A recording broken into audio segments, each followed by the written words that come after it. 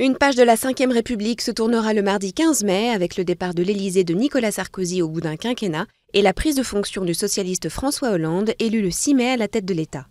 La passation de pouvoir entre présidents, qui obéit à un cérémonial républicain minutieux, est un moment fort dans le rituel de la Ve République. Un tête-à-tête d'une heure notamment permet d'échanger quelques secrets d'État et de transmettre les codes du feu nucléaire. Le 8 janvier 59, René Coty, second président de la 4 République, accueille le fondateur de la 5e, Charles de Gaulle. En juin 69, Georges Pompidou est accueilli au palais de l'Élysée par Alain Power, président par intérim depuis la démission de De Gaulle.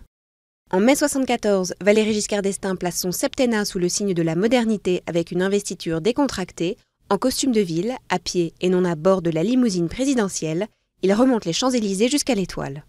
Sept ans après, battu, il reçoit François Mitterrand sur le perron de l'Élysée le 21 mai 81, puis quitte le palais à pied. Au terme d'un double septennat, c'est un Mitterrand épuisé par le cancer qui accueille Jacques Chirac en mai 95. Enfin, après deux mandats successifs, Chirac cède la place à Nicolas Sarkozy en mai 2007. À peine installé à l'Élysée, après la cérémonie de passation des pouvoirs avec Nicolas Sarkozy, François Hollande doit annoncer le nom de son Premier ministre.